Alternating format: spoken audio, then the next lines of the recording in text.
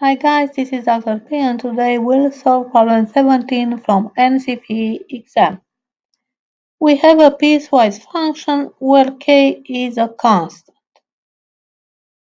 It is required to find the value of the limit when x is going to k negative from the function fx. So what means x is going to k negative? X going to k negative means that x is going to k, it approaching to k, but x remains lesser than k. That's why we say to this bunch of relationship shortly that x is going to k negative.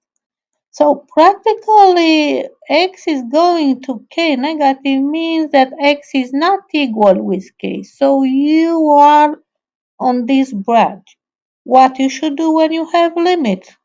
You replace the variable x with the tendency, the limit, the k. So if I plug in here instead of x the number k, what I will obtain? k squared minus k squared divided by k minus k.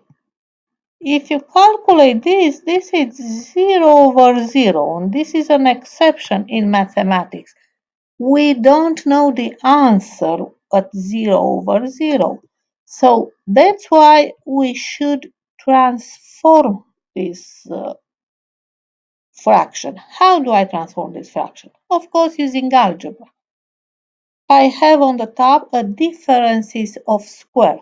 So that's why if I use algebra, if you remember the formula, the top will be x minus k times x plus k.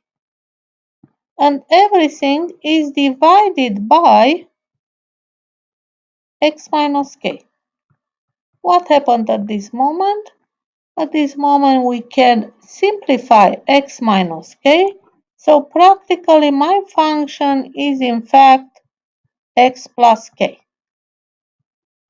If I'm calculating the limit, I should uh, replace, as I said before, x with k. So my limit, let's say L, will become k plus k.